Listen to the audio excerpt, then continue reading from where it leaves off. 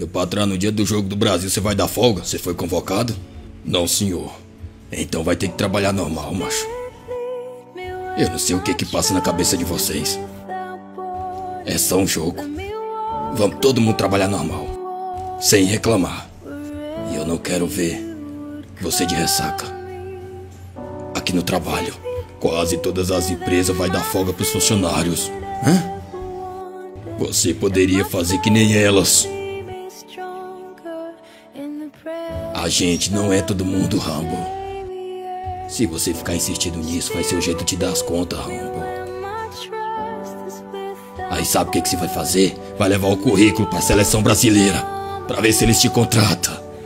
Agora, no dia que no jogo do Brasil for feriado, eu vou ser o primeiro a te dar folga. Enquanto isso, não dá. Eu fui claro. Ei, Rambo. Você hoje tem que trabalhar até as sete, porque você chegou uma hora atrasado. Velho do cão. Sai do meio, seu bosta.